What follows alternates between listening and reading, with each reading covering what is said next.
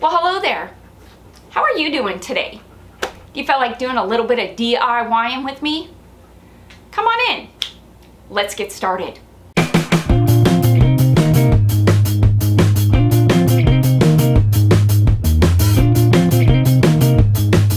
What do I have going on for you for today?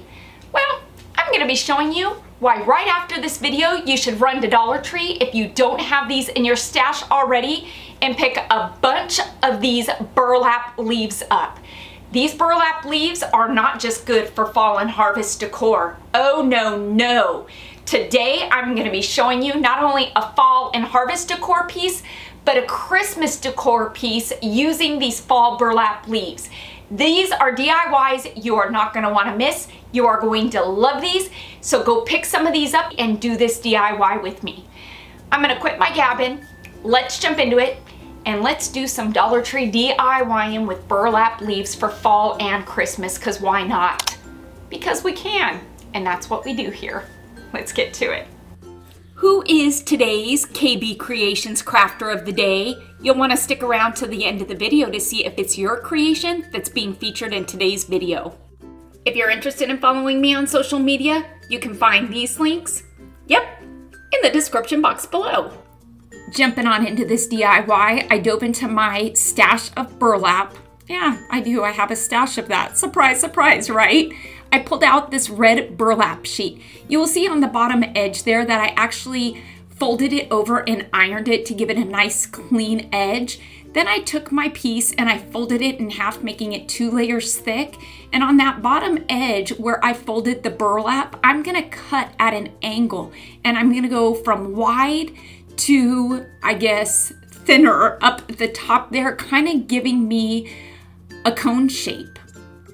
Now, if you wanna use fabric for this, you can. If you wanna use felt, you can do that too. I really was just trying to use what was in my stash and I always look for an excuse to work with burlap. Once I've got it good and cut, I'm gonna take and run a bead of hot glue right along that edge, gluing these two edges together. And uh, using a silicone makeup applicator is the way to do that with burlap so you don't burn your fingers with that hot glue. Once those edges are good and adhered together, I'm gonna turn this right side out. Yeah, right side out because it was right side in. And now we have just made a burlap cone or a burlap hat. This here is one of Dollar Tree's cutting mats. You can see that it's an old one, one that I've used to paint on. I went ahead and used a ruler and drew out a triangle that I'm now going to cut out. A lot of times when I have cutting mats like this, I'll let them stack up when they're older if I can't clean them. And I always feel really bad about throwing them away.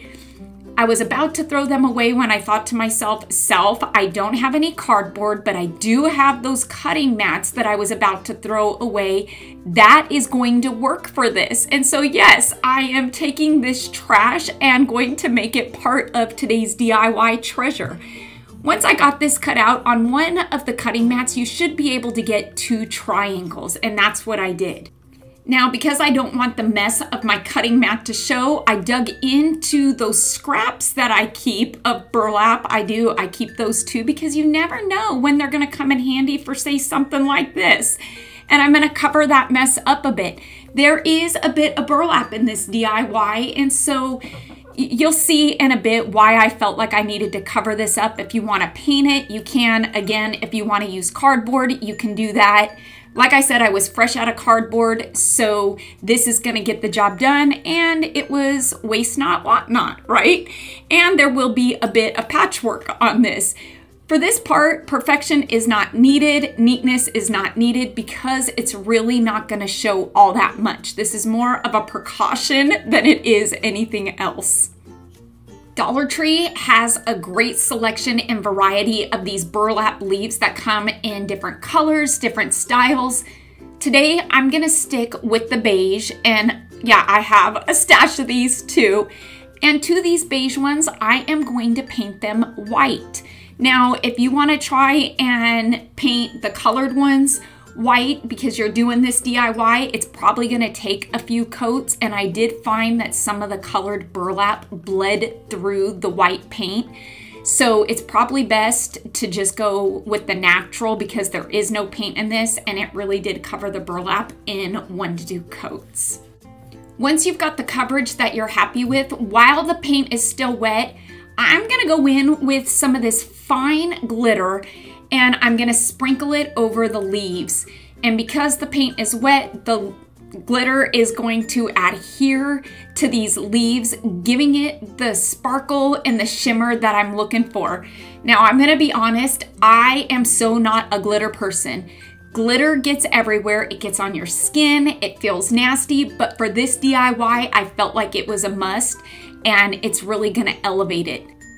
I decided just to do a bit of cleanup and fine tuning.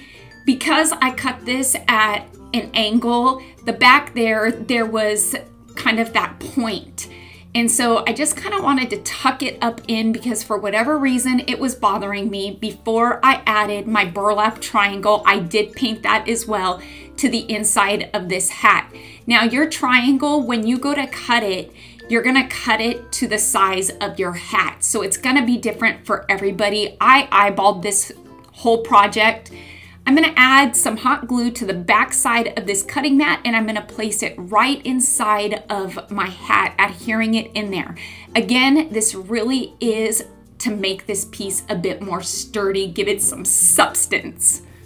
And along with that substance, it's going to give us a place to adhere our leaves onto. So now you can see why I covered up the mess of the cutting mat and painted it white because sometimes when you're working with burlap, you can kind of see through the burlap. And the last thing I wanted to do was do this DIY, have it turn out cute, but then you saw the mess of my cutting mat.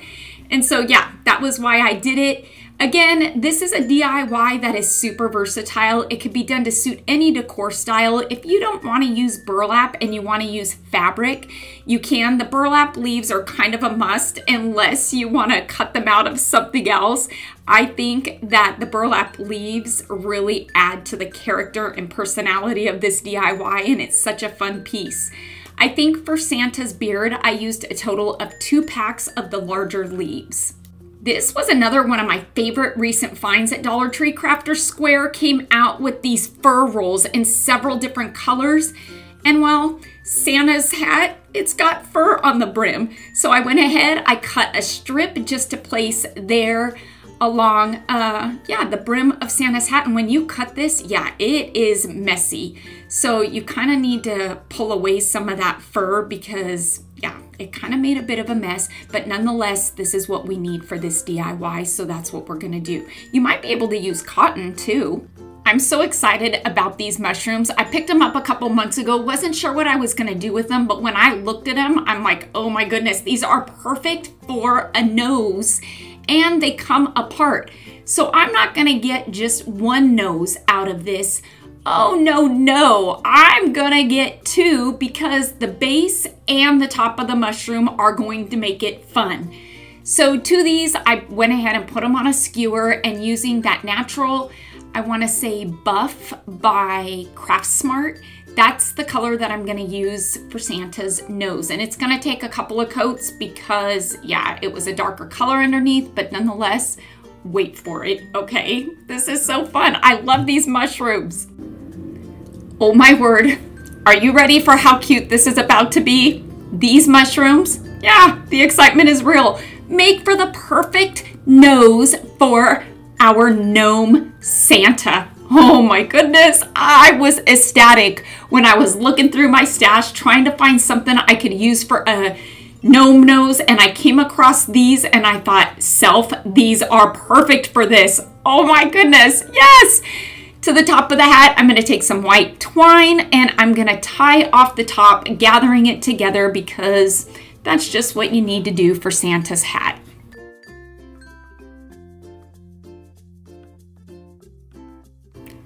Square has come out with three or four different size pom-pom makers. This is the larger one. Pick them up because it makes making pom-poms so easy. Santa's hat definitely needs a pom-pom on the end, and so using some of Dollar Tree's yarn and Dollar Tree's pom-pom maker, that's what I'm gonna make. Yep, and put it right here.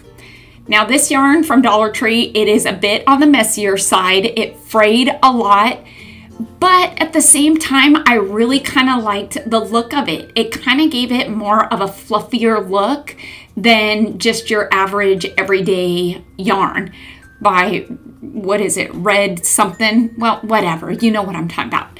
Dollar Tree has these white berry picks, and so I figured this would be the perfect embellishment to embellish Santa's hat with.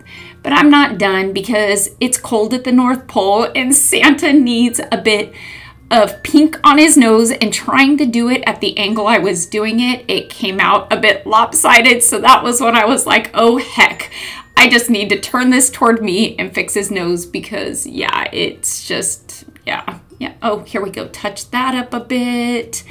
And, mm-hmm. Good thing for paint, right? Oh, what am I using to put the pink on Santa's nose? I am using a Crayola oil pastel. Dollar Tree has oil pastels and a stiffer brush. It makes for giving it that soft, clouded, blended look versus using paint. And so, yeah, I am done with this piece. Maybe I'm not because we need to hang this piece up. How am I gonna hang it? Well, I'm just gonna flip it over and add some twine and really pound it with hot glue so it doesn't fall. Now we can go take a look at this piece. Okay, I have to say it. This is so stinking cute. Haven't said that in a while. Now for the fall gnome, because if I'm making a Santa gnome, I've got to make a fall one. It's that time of year, so why not? I went ahead and ironed in that bottom edge just like you see I did here. I probably didn't show it real well in the beginning. Truth be told, I was actually gonna put this one first in the video and then decided, no, I better do Santa first because, yeah. So after I've ironed in that edge and I folded it in half, you can see that I wanna go ahead and cut it at an angle. I know if this seems repetitive, it is. I really did this video with the intention of doing the fall gnome first, but like I said, after thinking about it, I decided to go with Santa first. And since this is the outside of the hat, that's where we want to place the hot glue because we want the seam of the hat to be on the inside. So once we fold it over and adhere the sides together, the seam will then be on the inside of the hat versus the outside.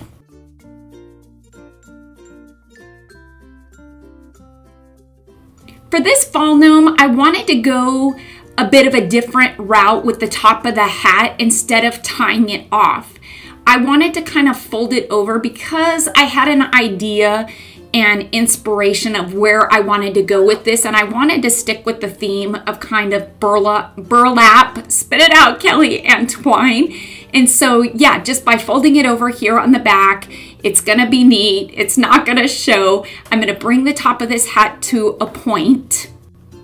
When I measured out my triangle, I really just kind of measured it by the width of the hat and that was the size that I needed and then just using a ruler and a Sharpie like I said earlier I just kind of eyeballed it and I was able to get two triangles out of one cutting mat one out of one old cutting mat that I was gonna throw away I love that I didn't have to throw this away then again with this one on the back side I'm gonna run a bead of hot glue and just place it right inside my fall gnome hat just like this now, when I told you that Dollar Tree has an amazing selection of burlap leaves and the colors are amazing, I wasn't lying. I always pick these up because they are great to DIY with.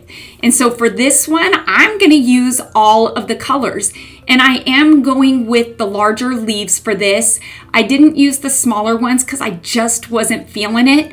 But I feel like if you have the smaller ones, it'll work. You just need a bit more, and I didn't have enough. And again, I wanted to use what I had in my stash.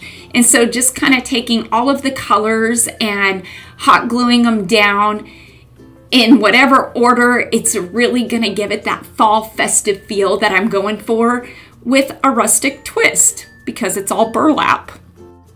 the brim of this hat needs a little something. So I figured I'd use this burlap and twine ribbon that you can get from Dollar Tree.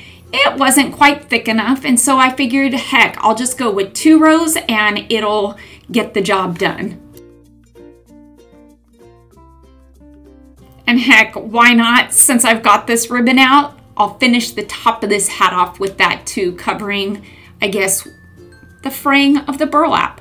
Oh yeah, that's the finishing touch that this hat needed, but we are not done yet. For this gnome nose, try to say that three times really fast, I'm gonna use the bottom half of my mushroom.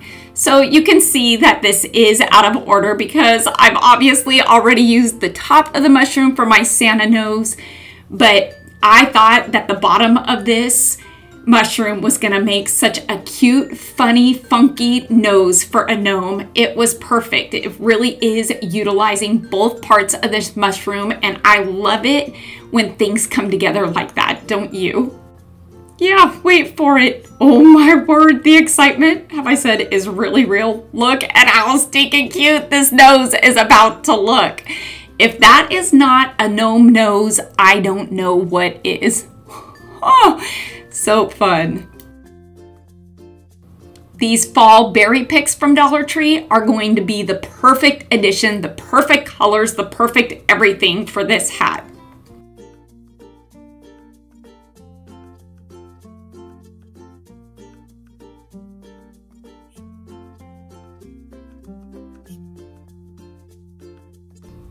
These are such fun pieces. Tell me which one you liked better. Did you like the fall or did you like Santa? I like them both. Who is today's KB Creations Crafter of the Day? Well, it's going out to Christy Chester, who's bringing to us her recreation of my DIY pumpkin wall decor plaque. Christy, I am loving how you took the idea and you made it your own. Thank you so much for sharing your recreation with us today. If you're interested in being featured as a crafter of the day in one of my videos, submit a picture of one of your recreations of a DIY that I've done to either Facebook or Instagram. If you want to DM it to me, you can. Then you just simply have to look out for the end of each video to see if it's your DIY that I will be featuring in that given video. Gorgeous, right?